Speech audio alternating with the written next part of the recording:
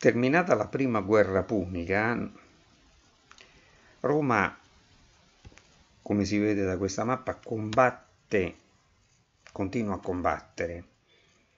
Nel 241 conquista, dopo la Sicilia, strappata dicevamo con la prima guerra punica, anche la Sardegna e la Corsica, creando le prime province, cioè territori di sfruttamento assoluto i cui abitanti non avevano diritti, ma solamente il dovere di versare le tasse all'erarium di Roma. Prima di passare a quello che era solamente una questione di tempo, cioè lo scontro definitivo con Cartagine, perché da una parte Roma voleva sostituirsi a Cartagine nel dominio del Mediterraneo e Cartagine riprendersi le tre grosse isole che le erano state sottratte, Roma mette definitivamente a tacere il problema dei Galli e conquista la fertile pianura padana per, non solo per un controllo di un territorio che era a nord dell'Etruria e quindi era potenzialmente pericoloso, ma per ripristinare le risorse distrutte dal terribile conflitto precedente. Ricordiamo che Tito Livio presenta la prima guerra punica come una guerra quasi catastrofica. Una stima approssimativa ma veritiera indica in 15-20% gli abitanti della popolazione romana morti in questo conflitto e ovviamente la maggior parte sono civili. Tra una guerra punica e l'altra possiamo dire viene consolidato il territorio che era stato occupato dai Galli che il 18 luglio del 380 nel Dies Aliensis avevano saccheggiato Roma. E il console Marco Claudio Marcello a Casteggio Clastidium. Gli venne dedicata anche una pretexta, cioè una pièce teatrale, eccolo Casteggio sopra Piacenza, sconfigge i Galli consolidando il potere romano sulla cosiddetta Gallia Cisalpina, cioè sulla pianura padana. E, cosa importante, vengono fondate le colonie di Cremona e Piacenza. Fondare una colonia significa questo. I cittadini romani, alcuni cittadini romani, conservando tutti i diritti della loro condizione, fondavano una nuova civitas in zone dove c'era bisogno di un contenimento militare. Un po' come fece Augusto quando per contenere i Rezzi, una popolazione che voleva sfondare l'impero, fondò Augusta Pretoria più nota oggi con il nome di Aosta. Quindi il risultato di questo conflitto fu il consolidamento del confine col territorio dei Galli, ma soprattutto il ripristino delle risorse distrutte dal conflitto precedente. E ora veniamo a quella guerra che acquista dei connotati da narrazione epica. Tito Livio ne parla in questi termini e non a torto. Questi sono i due protagonisti. Annibale, questo è un busto ritrovato a Capua, il nemico più odiato dai romani, ma quello anche più ammirato. Di lui sia Tito Livio che Plutarco, come era uso nell'antichità, mettono in luce gli immensi vizi ma anche le immense virtù, crudeltà disumana ma anche generosità priva di limiti. E poi Publio Cornelio Scipione, di quella famiglia che porterà la cultura greca a Roma, che verrà soprannominato l'Africano, dopo la vittoria sui cartaginesi a Naraggara o Zama, vittoria che porterà Roma a sostituire Cartagine nel dominio di tutto il Mediterraneo. In questo schema sono indicate le cause immediate della seconda guerra punica. In realtà, come tutte le guerre, la causa è solo una, le risorse, le risorse e il predominio commerciale.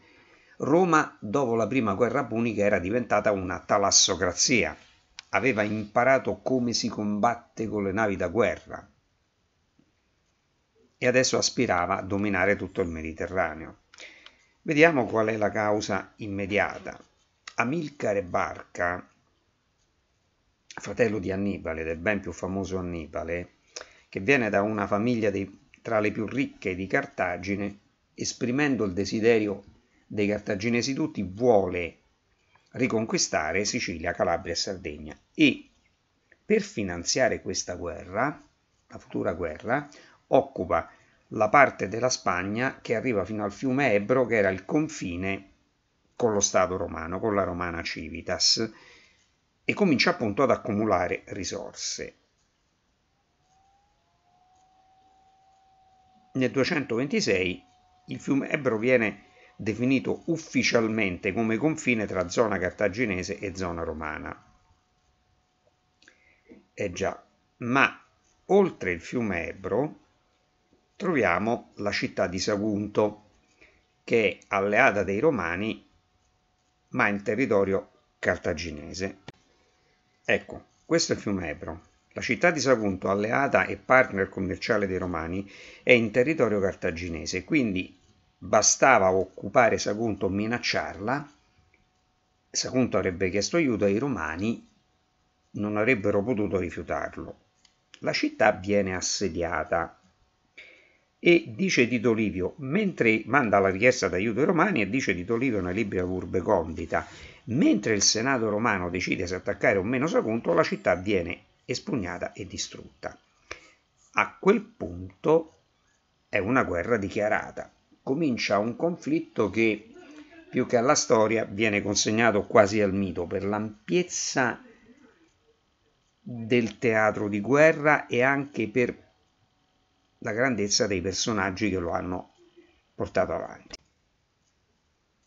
Due furono i grandi generali che gestirono questa guerra cartaginesi, che gestirono questa guerra contro i romani. Annibale, che rimase 18 anni in Italia e che addirittura arrivò alle porte di Roma, e il fratello Amilcare che lo spalleggiava in Spagna, che era stata conquistata perché ricca di risorse che i cartaginesi avevano incamerato. Nel 219 Sagunto viene conquistata e distrutta e in realtà i romani si sentivano sicuri perché erano difesi dalla barriera naturale delle Alpi, che sembrava invalicabile. Annibale compie un'impresa che gli storici antichi paragonarono a una delle dodici fatiche di Ercole.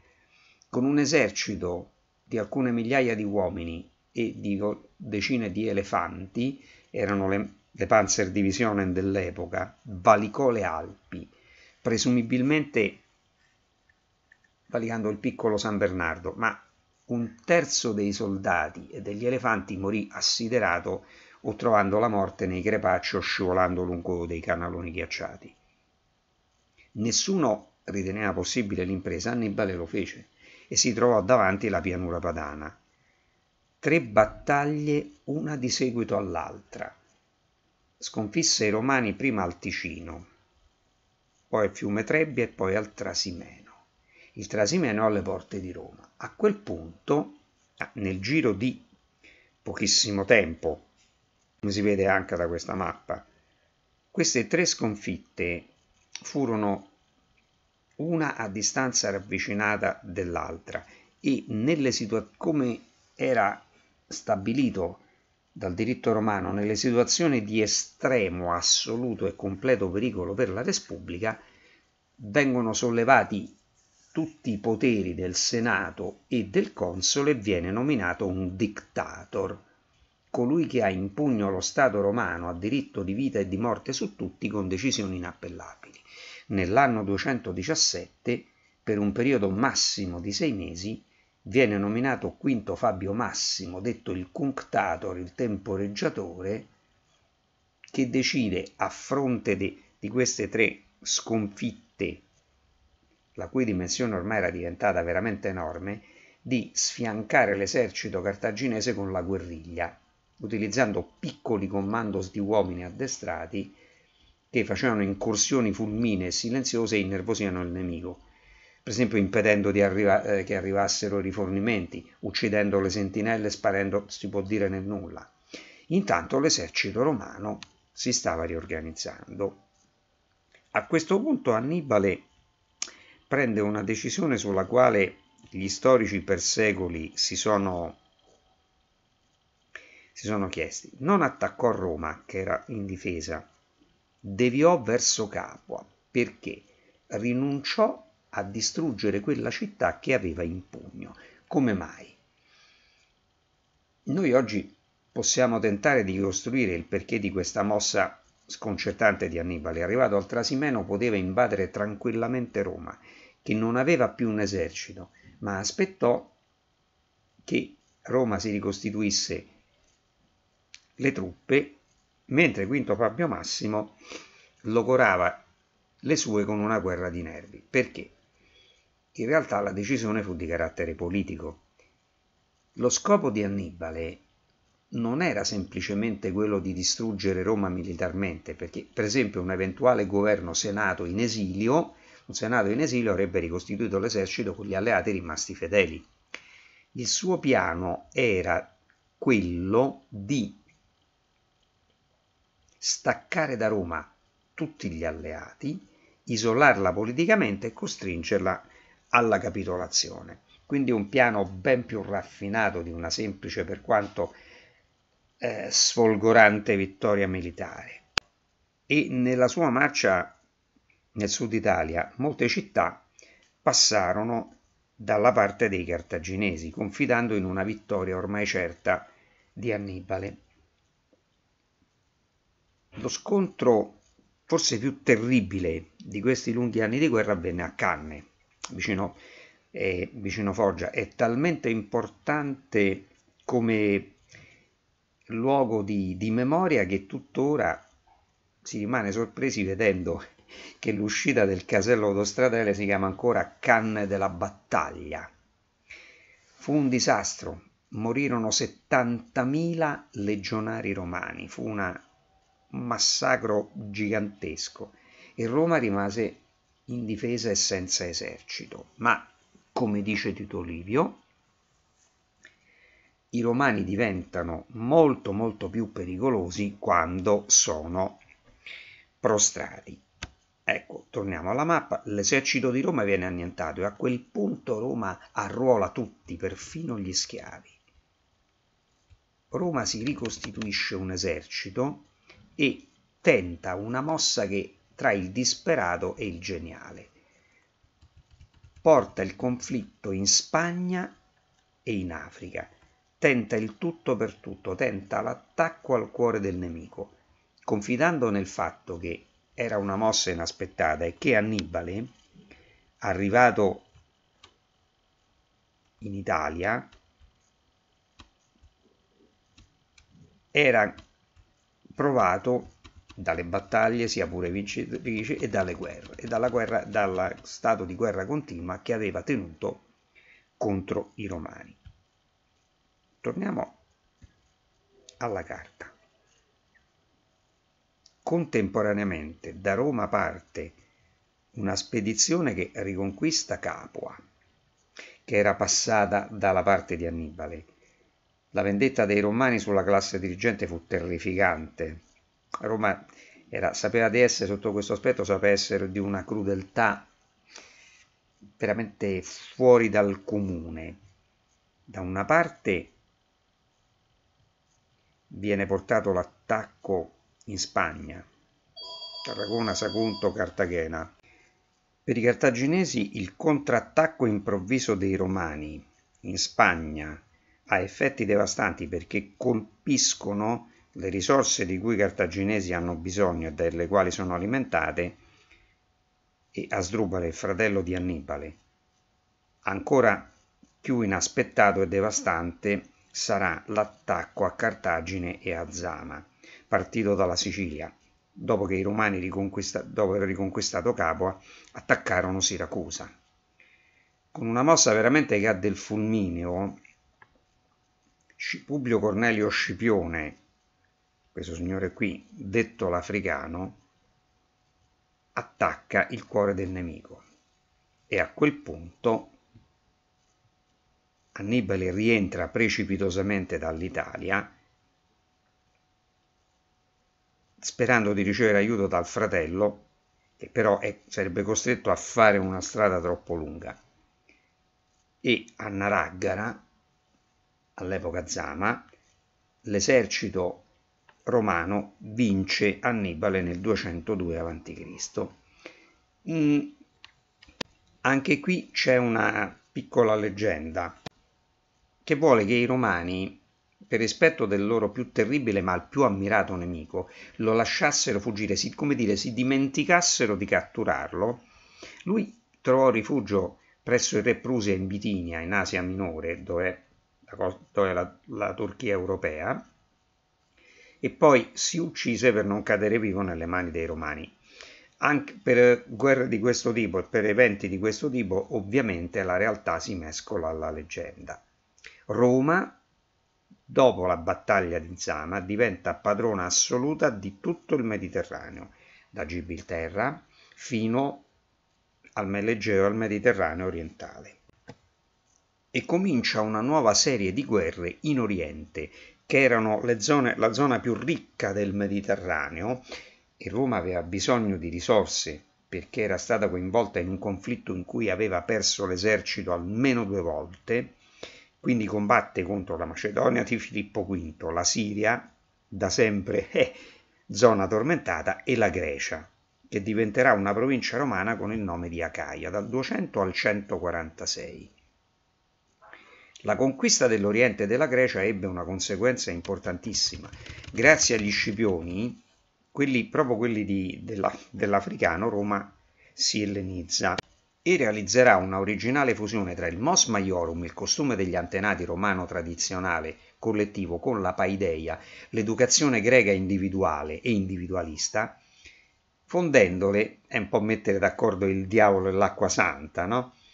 Sotto il concetto di humanitas. In pratica, per farla breve, l'uomo culto romano, chiaramente qui si parla di classi privilegiate che potevano permettersi di studiare, Potenzia con la paideia l'educazione greca e gli scipioni fecero educare i propri figli in questo modo, le proprie capacità individuali per metterle al servizio della Repubblica. Contemporaneamente vi fu la terza guerra punica, che fu una delle pagine più ingloriose della storia di Roma.